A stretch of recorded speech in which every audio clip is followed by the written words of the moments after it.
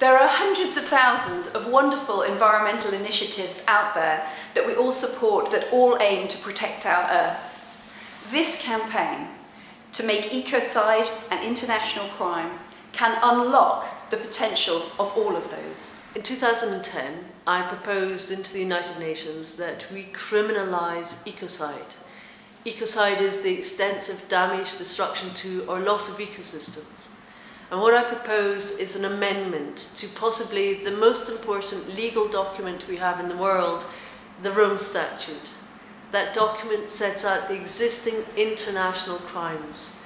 And I propose that ecocide become a standalone international crime alongside genocide, war crimes, and crimes against humanity.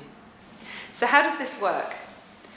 To amend the Rome Statute, it simply requires a head or heads of state to propose that amendment. Who has the greatest incentive to do that?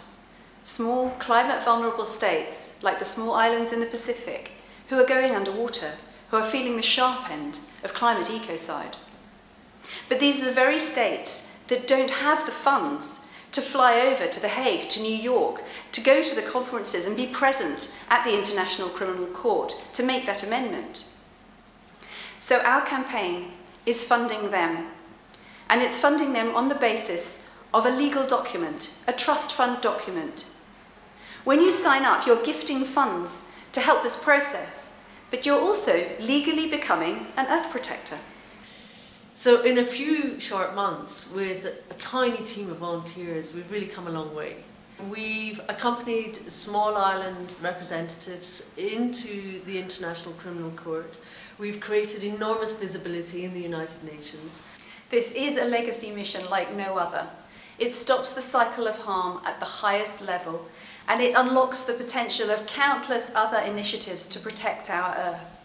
We really would love you to be part of this.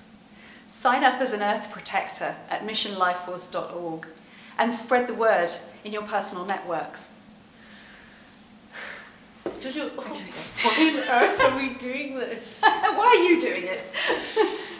because, you know, for me, I really recognise the historic significance of this. This is this is going to be huge, and I I have my skills as a lawyer that I can put to good use here, and that's what I'm doing. But you know, it's more than that. I can't square it with my conscience to walk away from this. Mm. What about for you? For me, I think I came to this through my children. You know, yeah. they, they're going to be growing up in this world. It's going to be a world that we have no idea what it's going to look like. And like you, I cannot sit by and see serious harm continuing, knowing that my children are going to grow up in that. And so for me, it's about the earth as I know it, but it's also about the earth that's going to be lived in by the future generations, by our children and our children's children. We're going to make it happen. We are! And we're going to find people who can help us make it happen. Absolutely. so help make us happen.